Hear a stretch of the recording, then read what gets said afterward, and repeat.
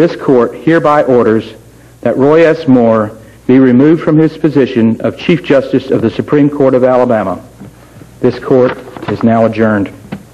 Anti-abortionists and pro-choice demonstrators have clashed in the city. Abortion should be safe, legal, and rare. It was a scene the Philadelphia district attorney called a house of horrors. A Philadelphia abortion doctor accused of gruesome crimes. Planned Parenthood, the biggest abortion chain in our country, is receiving 363 million taxpayer dollars. Gay rights are human rights.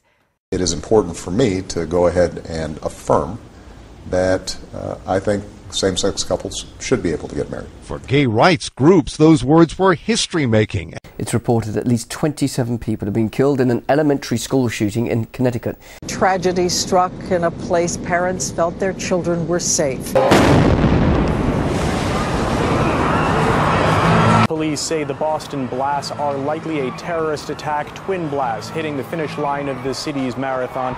We have a full-blown invasion from the south. The Department of Homeland Security buying ammunition, now looking to purchase 1.6 billion rounds. It seems that the Obama administration is determined to chip away at the Constitution.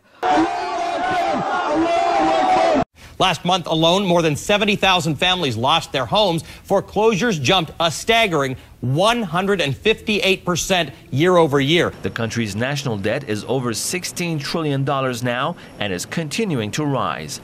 The weakening dollar has been the subject of much wailing and gnashing of teeth in recent months. The U.S. dollar takes a nosedive.